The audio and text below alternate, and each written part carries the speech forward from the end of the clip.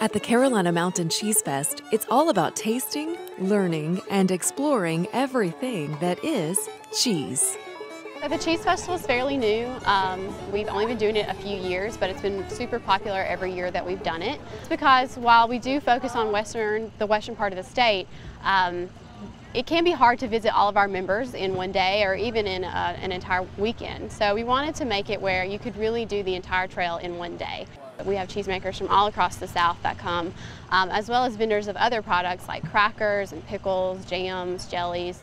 On the grounds of Asheville's Highland Brewing Company, visitors can explore the cheese making process from the field and farm to the dinner plate, learning about the past, present, and future of this ancient craft.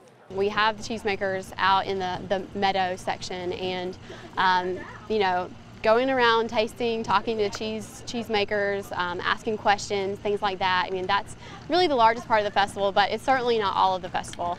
We have wine and cheese pairings, beer and cheese pairings. We have um, uh, cook-offs, uh, you know, grilled cheese, mac and cheese, things like that. Um, we have demos, uh, you know, a lot of different cheese making demos, especially for the home cheesemaker. If you're really interested in kind of expanding your craft and learning more about it, it's a really great way. We have a lot of cheesemakers and um, you know if you're really interested in talking to someone about blue cheese or goat cheese or you know a certain style, um, we have pretty much everything rep represented here. And it sometimes opens eyes to things visitors have never tried. Am I going to find out what I've been missing my whole life? Some good stuff.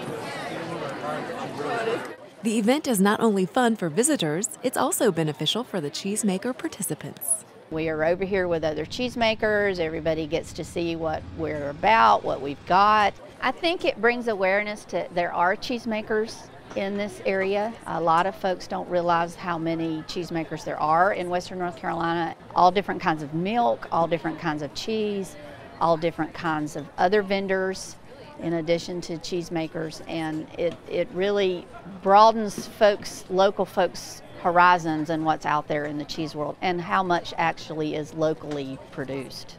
It's just so much fun, and we get to meet so many of our friends in the cheesemaking business and the other food vendors in the region who all come together and celebrate cheesemaking in Western North Carolina. It's a lot of fun. It's a beautiful day. Uh, it's a great bunch of people friendly folks and good food, good atmosphere, a lot of fun things to do.